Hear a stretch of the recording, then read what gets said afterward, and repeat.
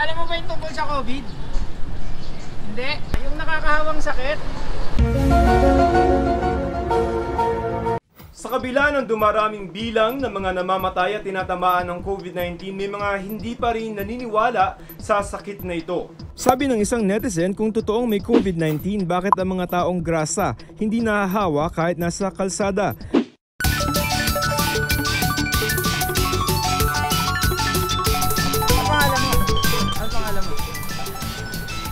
Ka na? Ha? Tatanong ako sa'yo. Alam mo ba yung ano, tungkol sa COVID? Ha? Hindi mo alam yung tungkol sa COVID? Yung nakakahawang sakit? Hindi mo alam kung tungkol saan yung COVID? COVID yung nakakahawang sakit. Wala po. Alam mo yon, hindi ka natatakot mahawa. Pero wala ka naman nararamdaman. Wala kang ubo, sipon.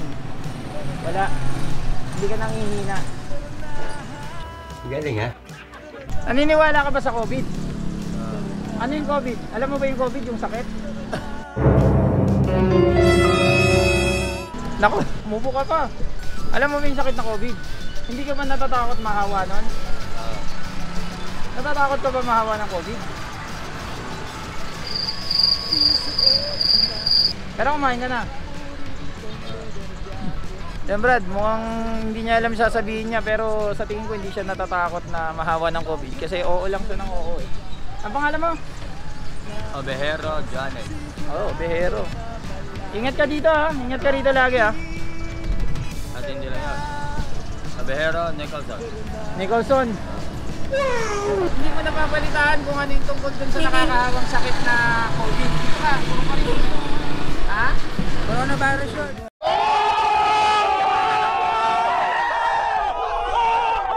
Oh, coronavirus. Tama. Hindi ka ba natatakot mahawa nun?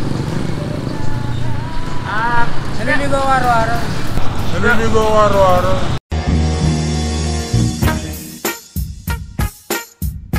Hindi totoo yan. Ah, pero wala ka namang nararamdaman, di ka inuubo, sinisipon. Malusog na may pakiramdam mo.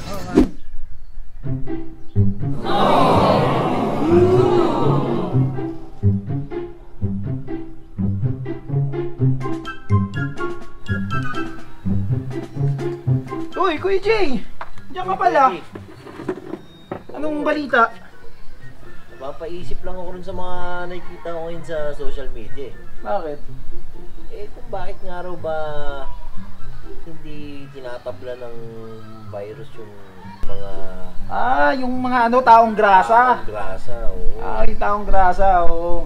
Na ano, usapan nga yan ngayon sa ano, sa ah, Facebook. Eh kahit anong isip ko medyo ah, medyo isa lang yung talagang sagot na ano ko. Pero syempre gusto ko nung medyo may scientific explanation kung bakit o ano. Eh, bakit nga ba ako yan? Bakit nga ba hindi kinakapitan ng COVID ang taong grasa? Tanungin muna natin ang opinyon ng iba. Yon, ma'am, ma'am, ano pangalan mo? Bernadette Parahat po. Yon, ma'am, anong masasabi nyo bakit sa tingin nyo hindi nagkakaroon ng COVID yung mga taong grasa? Sa palagay po namin, yung umaano sa kanilang katawan, parang uh, mikrobyo na rin eh. Ah, so ibig nyo sabihin, natural na immune na sila sa... Opo, hindi na po ano. sila sa ganong ah, ah, mikrobyo. Kaya, kumbaga, ang panlaban nila is yun na rin kasi matapang na yung kanilang ano sa katawan sa Matapang na yung mikrobyo nila sa katawan, so kaya nilang labanan ng Yes COVID. po. Okay. Salamat, Ma'am Bernadette. Thank you sa, ano nyo, sa insight. Hmm. maano pa rin yung katawan nila. Kasi kung ano yun sila, di matagal nang na ano na sila dahil gawa sa lutong. Oh. Ah, ibig mo sabihin, malakas talaga yung katawan nila dahil kaya nilang labanan yung gutom, yung init ng araw, tapos yung COVID. Is din may punto ka rin dun, no? Ibig mo sabihin, talagang survivor yung kanilang katawan. Yan, mga brad. Tanungin ko lang kayo. Bakit kaya yung mga taong grasa hindi nahahawa ng COVID? Ah, ano eh, tingin ko, immune na sila sa ano eh. Sa dumi, virus pa kaya. Oo. Malakas ang immune system nila. Oo, hindi na sila kayang ano yun ng virus. Oo. Natakot na kayong virus sa kanila. Yung, yung virus na yung ano eh, sumusuko eh. Yun, immune na raw at saka yung virus na raw yung natatakot dun sa siguro, mga... Brad, walang pera eh. Walang pambayad. Oo. Kaya hindi na ano. Ah, kaya hindi nagkaka-COVID Oo. kasi walang pambayad Walang sa pambayad hospital. hospital. Madalas tinatamaan. Kasi wala namang ano eh, wala pang nagkasakit na ano eh, namatay sa COVID na ano eh, taong grasa eh. Taong grasa, wala pa. Level pang nabalita, mag-iisang taon na tayo eh. Isang taon na mahigit. Oo. Eh baka hindi lang natin napapalitaan. Yun, sige, salamat. Salamat Ayun, sa oh. inyo. ah. Walang mas, walang ano eh. Ayan, interviewin ko yun. Walang mas, pero... Pero Walang eh, COVID yan. ano, Walang COVID, hindi rin Sa tingin nyo, ba't di sila sinisita ng mga pulis? Siguro baka sabi ng polis, hindi na sila tinatablahan. Di ba? Kasi yung, yung normal, pare, pag nakita mo yung normal, sinisita na agad eh. Oh, Sinisita. smack mo. Wala kang facial. Pero yan, wala oh. Sige, sige mga brad, salamat ha. Ah, di ba? Thank you. Meron akong kilalang makakasagot ng maganda sa atin dyan. Ayun ang maganda. Sino ba yan? Ah, actually nag-message na siya sa akin eh na meron siyang mga points to ponder tungkol diyan sa bakit hindi nagkakaroon ng ng COVID yung mga taong grasa. So pupuntahan natin siya or pupuntahan ko siya. Welcome to my vlog. Yun mga brad, nandito ako ngayon sa ano, bahay nung sinasabi ko na makakapagbigay sa atin ng magandang kasagutan niya tungkol sa bakit nga ba hindi nahahawa ng COVID yung mga taong grasa. So papakilala ko muna sa inyo si Engineer Darwin Montano. Isa siyang contractor, isa rin siyang college professor. Hello mga kapasyal moto. Yun. Yun, ah, magpinsan kami kaya kuya tawag ko sa kanya, no? So, kay Darwin, ano bang masasabi mo? Ah, yung bang puntos mo tungkol dun sa bakit hindi nahahawa mga taong grasa eh factual yan or fictional? Actually factual siya. Scientific naman yun, no? Oh. Actually natutuwa ako at hindi na hindi lang pasyal ang vlog mo ngayon, no? Ah, may social relevance yung topic mo ngayon. Actually, ako, ayaw ko talaga ng mga content na social relevance ang dating kasi dyan yung minsan nababash ka. Pero sa ngayon kasi yun ang importante. Normal lang naman yung mabas. Sabi nga ni Napoleon, the world is suffering a lot, no? Not because of the violence of evil man, but by the silence of good people. Na Yun. dapat Dapat may taong Oo. bumoboses. Kailangan pag may ano ka no, social responsibility mo na pag may alam kang maitutulong no. Alam kang magiging mga may solusyon no. Oo. Kailangan sabihin mo no. Tama. Responsibility natin yan Responsibility natin bilang yan, no? isang Bilang isang mamamayan. mamamayan, no? Oo. Yan, So yun, mabalik tayo kay David. Ano-ano ba yung mga dahilan? Marami ba yan? Actually hindi naman no. Ah, it is based din naman sa experience ko and sa knowledge ko no.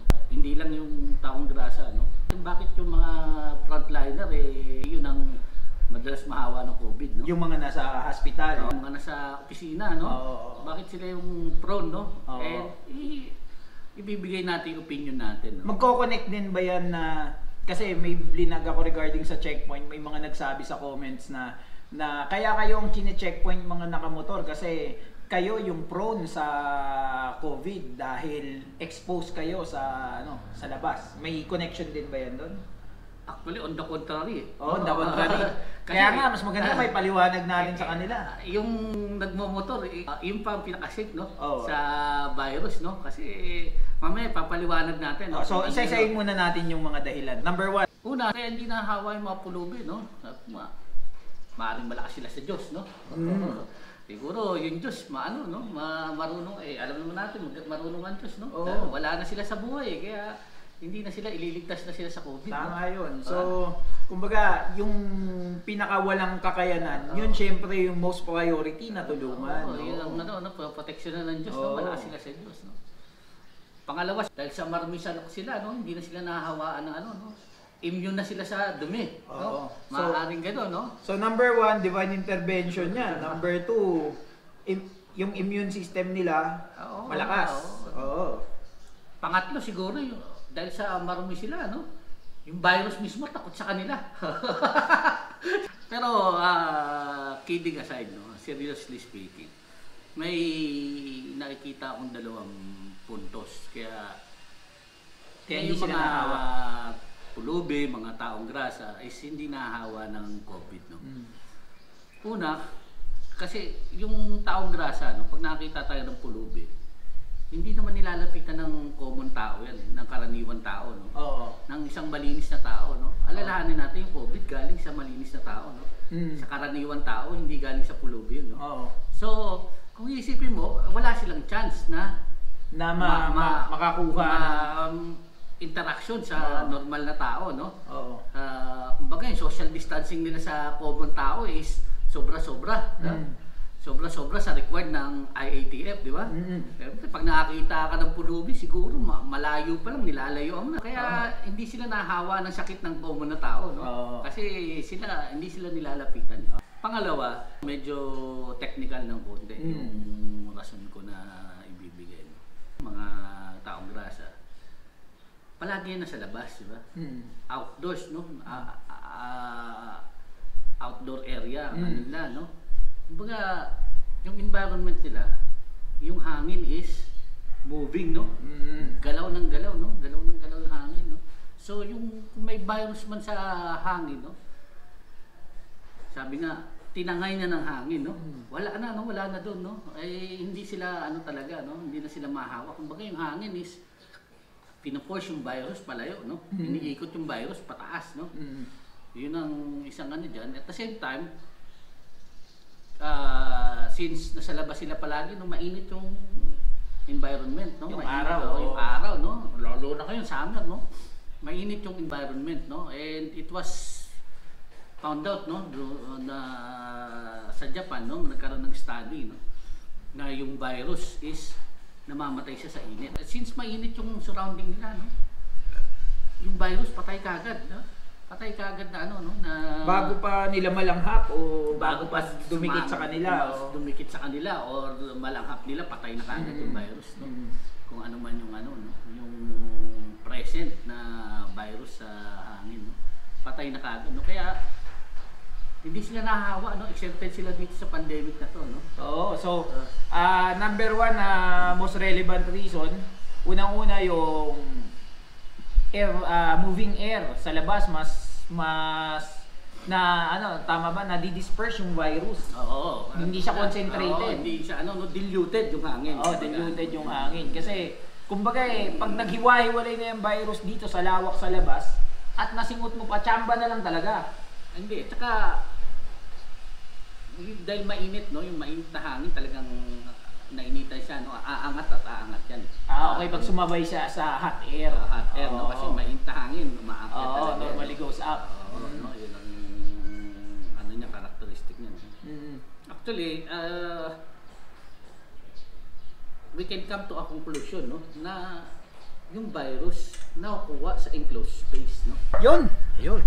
Heavy. Oo, ah, yun, ah, natutunan natin, no, na yun palang dahilan kung bakit hindi naahawa ng COVID yung mga taong grasa. Oh, actually, Heavy, nung last year nga, sa balita, nabanggit nga rin yun, isa sa mga puntos nun yung, yung sabi nga eh, pagkatapos mo mamili sa labas, yun nga, magpainit ka raw sa labas Mm. para magstay ka muna at least mga 5 to 15 minutes para at least So, number one, yun, no? number one, ah yung Air change, oh, air change at saka yung moving air sa labas, yun yung nagpapa ano, nagpapahina ng kakayanan ng COVID na ma- makakuha yung mga taong grasa no dahil nga yung COVID kung concentrated yun siya sa ha- sa air, pag naihipan siya ng hangin, ma disperse siya, no? So, kung makalanghap ka man, ano na, less concentrated na, no? Kung nasa loob ka nga ng bahay, di ba, galing ka sa labas, bigla kang pumasok, hindi ka nag, ano, na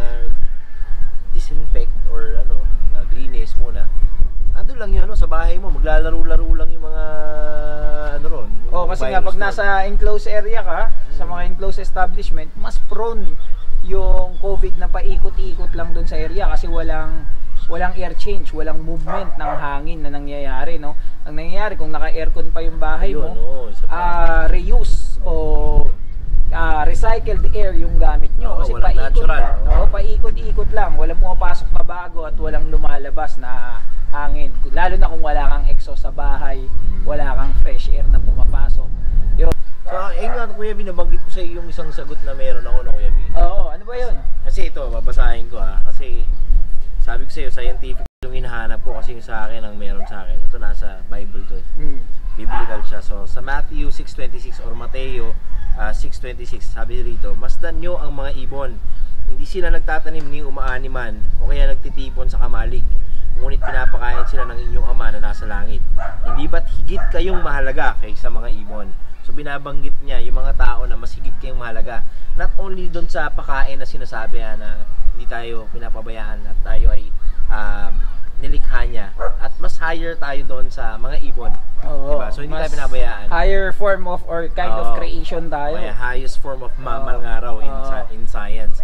Pero ito, syempre, hindi tayo, hindi lang sa pagkain, ano, talagang sila, mga, talagang mahal sila ng Panginoon at hindi sila pinapabayaan. Hindi rin sila hinahayaan na Magkasakit. magkasakit. Oo. So, ayun lang sagot ko, yung ano ko. ah. Hindi, totoo yun, no? Ah, hindi mangyayari yan nga lahat ng mga yan kung walang divine intervention, no? Una sa lahat talaga, kuya, bago tayo lumabas, bago tayo mamili, bago tayo, ano talaga natin muna natin.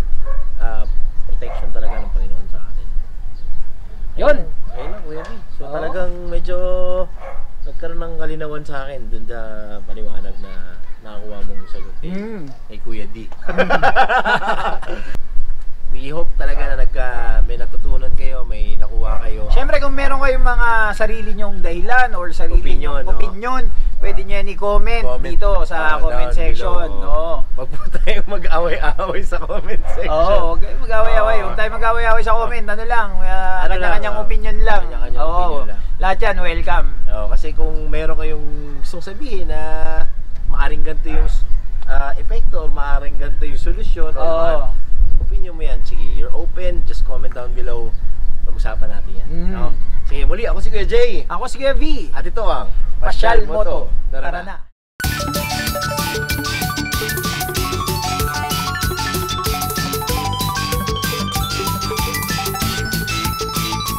Sumakay na sa motor Bombahin ang silinyador Dami ng nampas ng hangin sa